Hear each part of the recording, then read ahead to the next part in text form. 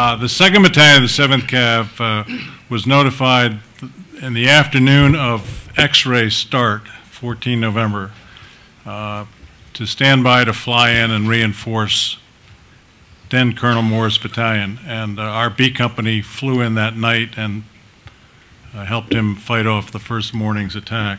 My company was standing by at a landing zone about five miles away, and uh, we were told that the landing zone was too hot to, to assault. I would have to sit around and wait for a while. So we waited for about an hour, and then went in on three lifts when there was a uh, respite of about 20 seconds at LZ X-ray.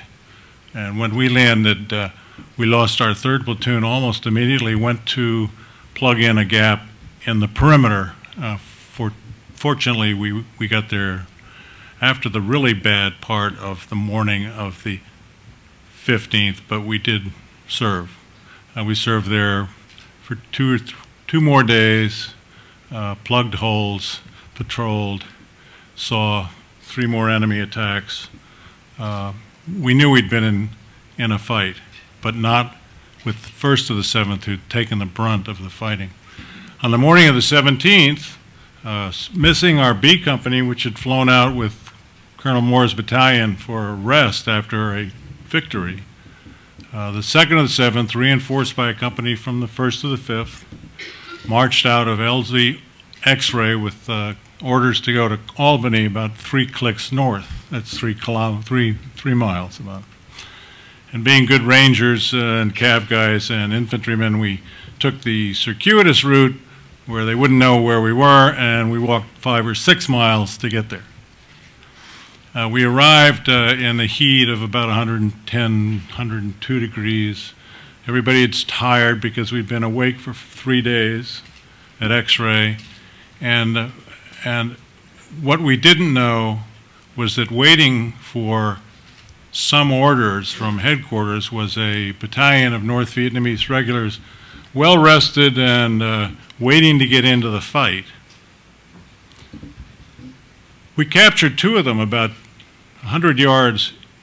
We were heading east to west. We captured two of them about 100 yards this side of LZ, Albany, and saw that they were hardcore PAVN. They were well armed, uh, well trained. It appeared uh, definitely North Vietnamese regulars. And this was new at, at that stage of the Vietnam War. We hadn't run into large units of the North Vietnamese.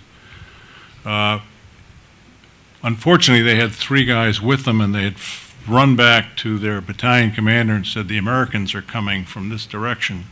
And he gave orders to set up a hasty ambush.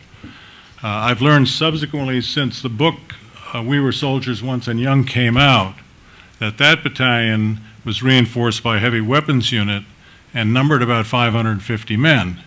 Uh, after X-ray, we walked into Albany with about 350 men. We walked right into Albany and they attacked.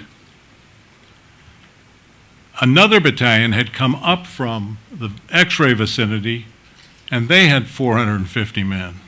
And there was another unit that came down from Plei Me with the North Vietnamese, and they had about 150, 200 men. So our historians, since we were soldiers once and young, was published indicate that we, 350 to 400 guys, were up against a force of 1,200 North Vietnamese who'd had the jump on us and, and surprised us.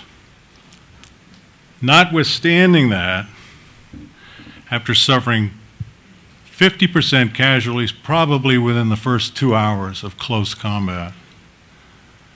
We were able to form two perimeters, one at the front at Albany and one back with the 1st and the 5th near LZ Columbus, and fought off from those two perimeters uh, repeated attacks by the overwhelming number of North Vietnamese.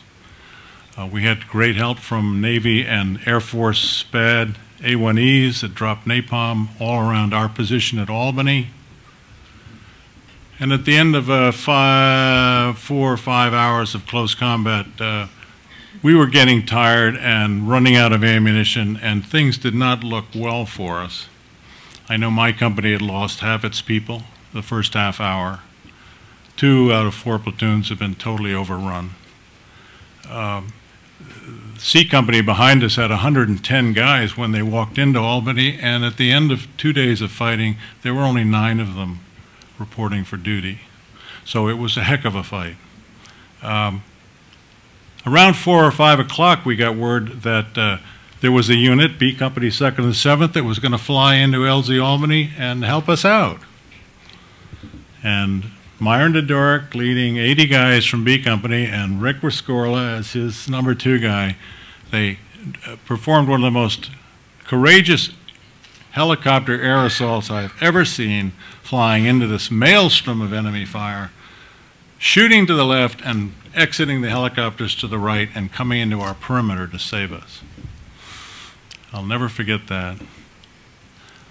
Then it got to be about dusk, and the battle was pretty much over, except for small pockets of Americans who were lying in the jungle, in the high grass, uh, wounded, and trying to band together and defend themselves from roaming groups of North Vietnamese soldiers.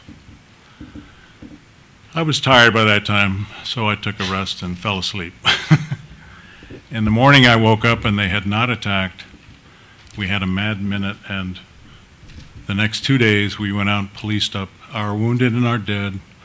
We packed up hundreds of enemy, enemy weapons that had been left on the field. Uh, at the end of it all, I think uh, we had certainly given better than we got, and we killed an awful lot of the enemy in those days. And we suffered 155 killed out of our 350 and 124 wounded out of our 350. So it was close to 70% casualties. But I'd like to say to my comrades on the panel and anybody out there listening, uh, the 2nd of the 7th did one hell of a job at LZ Albany. And I thank Hal and Joe, General Moore and Joe Galloway for publishing the story for the first time in their first book mentioning it again in their new book, and making a movie about their fight, which was almost as exciting as ours.